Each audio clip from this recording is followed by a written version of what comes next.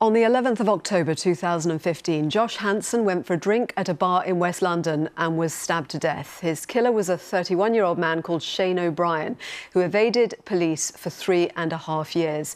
Detective Chief Inspector Noel McHugh takes up the story.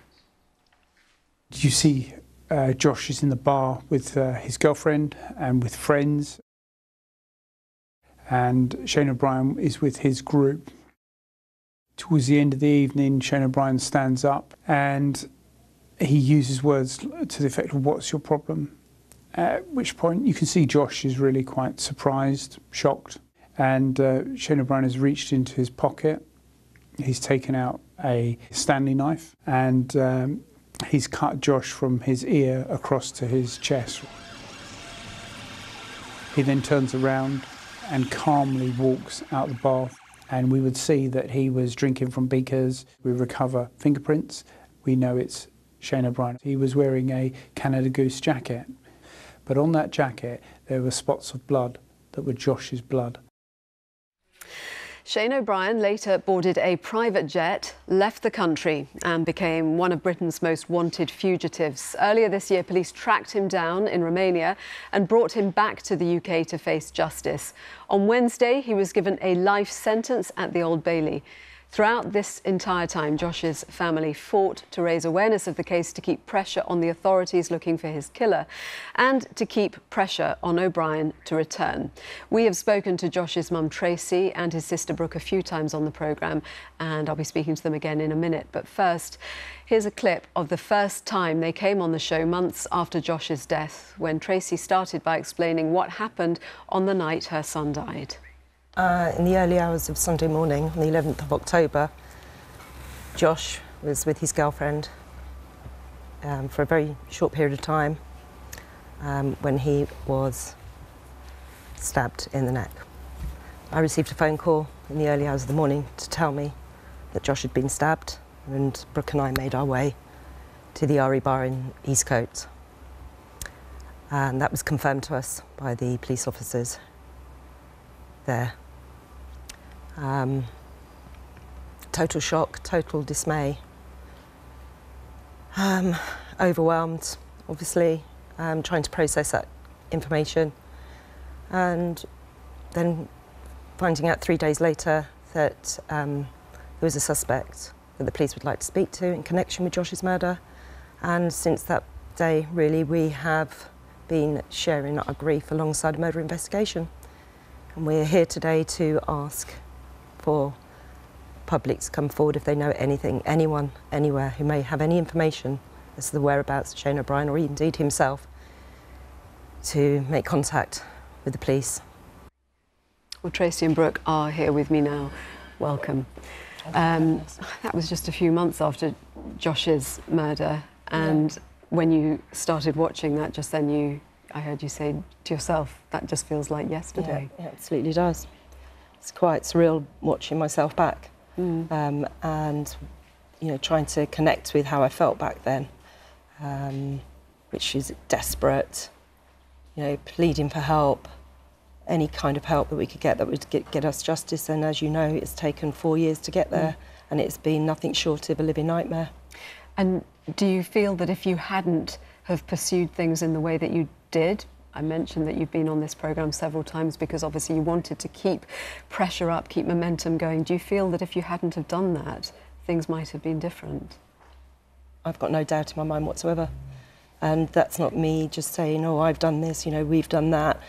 Um, it was it's feedback that I've had um, from indeed uh, the lead on the case, uh, DCI Noel McHugh, his team, um, National Crime Agency, um, lots of other people have, have given us some very positive feedback. I just knew that we had to do something to help assist the police and to make sure that um, what happened to Josh didn't go away. Mm. And you know, we will do whatever we can to help others on this journey if, if they find themselves on this journey, or those that still don't have justice to do exactly that mm. as well. Mm. Shane O'Brien actually said in court, it, it emerged in court that he had seen interviews that you gave, didn't he? He said in court that, uh, or his, his defence barrister said in court that um, no, actually, it was him who said it, wasn't it? Yeah. Sorry, I beg your pardon. Yes, mm. you're right. He said it um, that, you know, having seen my appeal with Brooke, mm. our appeal, um, that made him want to get in touch. How did that make you feel then, Brooke? Um, it's really hard when you're um, in the courtroom um, and you're going through the trial. Every day is really challenging and it's actually really, really scary sitting there um, with the, the, the, person who took your loved one's life. Um, even saying their name is really difficult to cope with. Um, and it's quite, again, it's very, it's close to home, especially when he mentions mum's name in the interview um, and the appeals. And it's quite, um, it makes you feel quite angry as well that someone who's been on the run for three and a half years is actually sitting there watching us on TV uh, yeah, it's quite a surreal feeling, really. Yeah. How, how did you feel about it, Tracey? Um, I mean, it was before he said that he just kept referring to Josh as Josh, which I found really, really difficult to take mm. On board. You know, much preferred him to refer to my son as Mr. Hanson. Mm. Um, he wasn't a friend of him. He didn't know him. They'd never met before. Mm. And then to sort of lead with that, then to mention me as well, it was it was almost trying to I don't know um, if it was for the benefit of the jury, but to, to sort of maybe personalise and humanise the situation, which there's no way, mm. you know, that that could actually happen. And thank goodness for, for the jury, um, who obviously have to reach a, a, a verdict based on the evidence that is, is, brought to them and what they see. And obviously, we've, you've shown the CCTV, CCTV this morning. Uh, it, it, speaks for itself. It speaks for itself. So yeah, it was, it, as Brooke said, it's very hard to sit in that environment where you have to maintain your emotions. You have to, you just cannot speak. You cannot show any, you know, no emotion whatsoever. You don't want to be accused of swaying the jury or trying to intimidate the defendant. Um, we we chose to sit way back actually so that we, we could never be accused of that because mm. so many other families who've been through this process have indeed been accused of those kind of things, which is horrific. Mm. He's been given a life sentence. He'll serve a minimum 26 years. Mm-hmm. It's only just happened, mm-hmm. so I'm, I'm, sure it'll take some time for yeah. that to, to settle in for you. But how does that feel now for you, knowing he is behind bars? Um, well, obviously, we have a sense of relief. Mm-hmm. Um, we can grieve for Josh in peace. Mm-hmm. That's something that's been denied to us for four years. Um, you know, there's going to be a lot of adjust, adjustments to take place. But it means that also this person cannot cause any more harm to law abiding citizens, innocent people. Josh was just 21, out with his friends, you know, just enjoying a night out. Well, actually, he hadn't even got into it, he was only in there 15 minutes.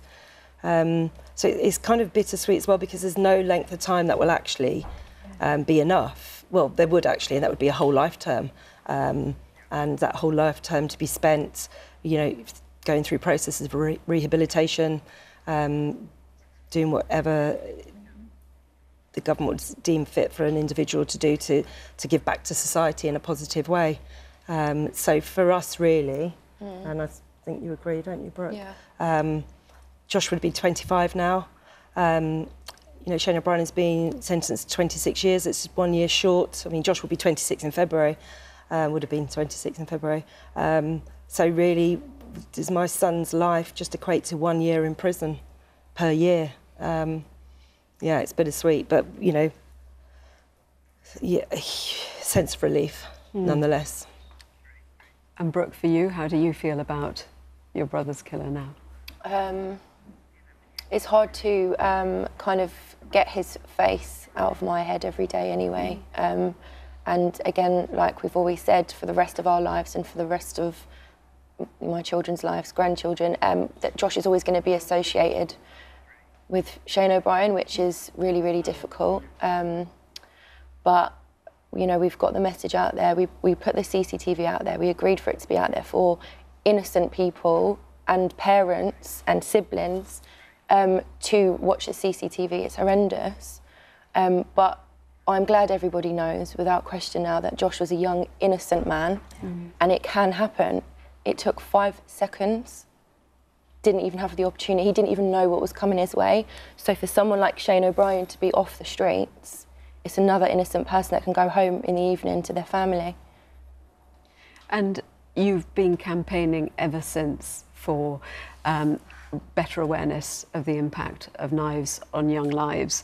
What, for you, Tracey, would be the legacy that might come out of this, if, if that's how you can look at it? You know, dare I say it, but we've had um, some very very moving success stories already. Mm-hmm. You know, we have lots of young people who've reached out to us to say, you know, because of Josh, um, because of what, because we shared Josh's story in schools, um, and over a, a three-week period, uh, a couple of months ago, four and a half thousand young people got to know Josh, mm-hmm. and we've had feedback, lots of feedback from that, from teachers and from pupils, um, just to say that you know you have made a massive impact on our lives, and Josh has.